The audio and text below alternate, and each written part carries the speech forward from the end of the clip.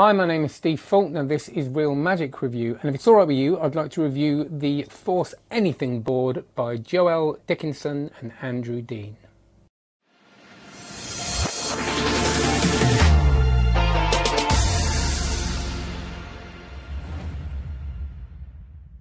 Before we review the Force Anything board, can you please like this video? Can you hit the subscribe button, hit the little bell icon? Very important this, because when I go live, you'll get notifications. And uh, I do have to share it on Facebook and stuff like that, but I'd rather not. Be nice just to do it, wouldn't it? And check out cardmagiccourse.com if you would like to learn from me. If you like this, you will love that. I've just received, I'm sure you won't mind me uh, reading it out. Just received from a new uh, member, loving the course. I've started the Royal Road and structure is just absolutely what I needed and was hoping for. It's great to have some focus again. Look at that. That's good, isn't it? So um, that's available. And if you're not sure, you can have a free course, a mini course on the spread cull, which I think is the most powerful moving card magic. And on the course, I will go into why. So just go on to cardmagiccourse.com forward slash cull, C U L L. Have a look at that. That is yours for free, no pressure. You'll get a few emails after that giving you cool stuff. Uh, but no, no, spamminess. So there you go. That's that. Uh, let's look at this. So I was um, this arrived and I wasn't very enthusiastic about it really. I don't know why. I, I didn't know what it was because I, I, like I said, I like to do that thing of kind of knowing as little as possible before I watch that download. I don't look at the form. I don't look at anything. Um, and I've, I've uh, always liked what Joel and Andrew did. I've worked with Andrew before doing close up, and I know that Joel, um, I've worked with him, but I know that he does a lot of stage. I've seen footage of him. They both know what they're doing, and like they say, they're they're real workers making stuff for real workers. And I was thinking, are they, or is that just a nice thing to say? Uh, and we'll see at the end. So obviously, I knew this was a force board, but I, I, I started watching it and then realised quickly what it actually was. So obviously, I know what forcing something is, but it's if if you use digital force bag, it's an analog version of that, but it's clearly an analog version of stuff that came out way before digital force bags. So it just made me think about it. But the the thing is, you've got. Um, let me show you. So you've got uh, three, say one, uh, 10 items I've written on here. And you say, right, we've got 10 items and they're parts of the body and, uh, and everybody, somebody just give me a number between 1 and 10. They say um, number 4 and you go, right, you could have chose 7, 8, 9, 10, you chose 4. And I'm going to get my pen.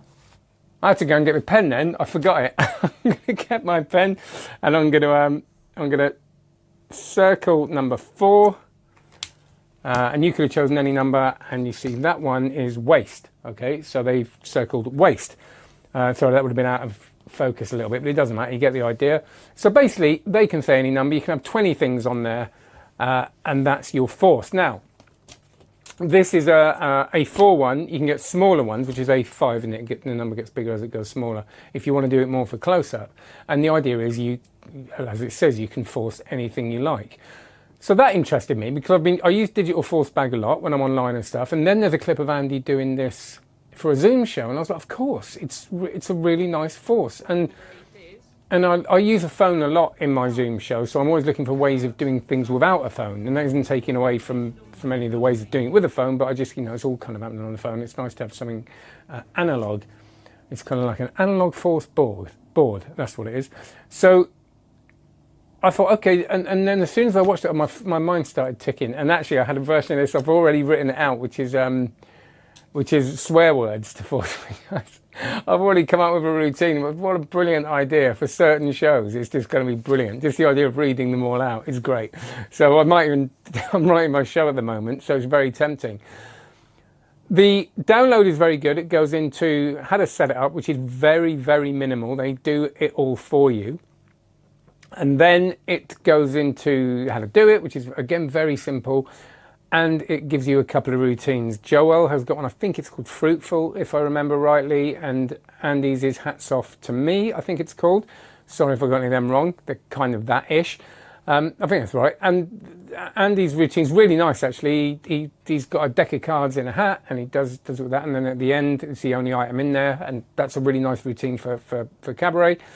And um, for a Zoom show, that's the one he's got footage of him doing on a Zoom show. And then Joel's is a lovely routine as well with a, a can of fruit. I'm not going to go into details, but really, really nice. Loads of moments in it. and the good thing is you see a version on Zoom and then you see Joel doing it with a live audience, which is really nice. It's genuinely going down really well. And there's a lot of potential here, isn't there? Because, you know, there's a reason why we, we do a lot of this kind of stuff, in one item, because there's once you've got that force, you can do so much with it. You know, I can I've used things like a maze box, which is a similar thing, obviously for stage, but done very differently. Got a very different feel to it. But this, I think, is way better than I thought it was going to be at the beginning. The funny thing is, I got it out, and it's um, it's got the couple of gimmicks that you need. It's got everything, totally everything you need, except for the bit of paper. Really, everything you need. They even um, put a penny in there, which is the size of the thing you need to do, the thing you have to do to prepare, which takes seconds. It's not no arts and crafts. And they give you extra ones of the thing, the gimmick, in case you want to customize it a little bit. But I got it out, and the, when I first looked at it, I kind of went, "Oh, that's that's not cut very well. That's a bit looks a bit shonky." I'm going to have to mention that. And then when I watched it, I realised that that's kind of the point. That's why it's like it is. So it's. I was thinking they've going to rushed these out a bit, but no, it's all been thought through. It's very easy. This is the other lovely thing. Now I perform a couple of mentalism routines on stage, and I always get a bit nervous, and they're not hard, but I sometimes, if I've got cognitive overload, I'm trying to perform, deal with an audience member. This is just a great opener, and incidentally, a great closer. If you look at Joel's trick and Andy's, actually, you could you could close with them. Um, but this has got a really nice. It's because it's so easy and it's strong, and you can take it off into a comedy routine or something a bit more serious. I think it's great. Like they said, uh, they say in it, it's it's a clipboard, and it's just it's a, it's a prop. It's something you use so people can see it. So you turn it around, and you know there's no heat on it. So when you do actually the magic stuff, the really good stuff, that's been put away. That's done. And I do think this is really good. Actually, I the the the, the way it, the easy ease of use is very important. The way it it goes on to it's versatile is very important and it's just a really solid piece of work. I really like it and I, I have absolutely no doubt in my next Zoom show I'm using it. And that's a lot. I'm looking for Zoom stuff at the moment, but it's really good because I, I want to find ways that aren't using my phone to force things and this is a really nice thing to do, you know, social distance and all that kind of stuff. So there it is, uh, Force Anything board. I think, I'm not going to mention the price because I always say it and then realise I've got it wrong and I have to go and cut it back in. But have a look, just click the links below and please do. People send me this stuff. No affiliate links, but do click them. Obviously, the stuff down below will be, uh, there's a link to the free Spread Cull course, most powerful uh, moving card magic, if you ask me, my humble opinion. Um, which is cardmagiccourse.com forward slash cull. And do, of course, check out Card Magic Course. That would be lovely. By the way, if you do get that cull course, I'll send you some really cool stuff and blogs. I'm not going to spam you, but over the next, um, and that, you, that won't be available on here as well. So there'll be some stuff I'll link to on here, but some old videos, but, um, but you'll get some exclusive stuff. So like and subscribe as well. Take care. Have a great one. See you later. And thank you to the Real Workers guys for sending me this.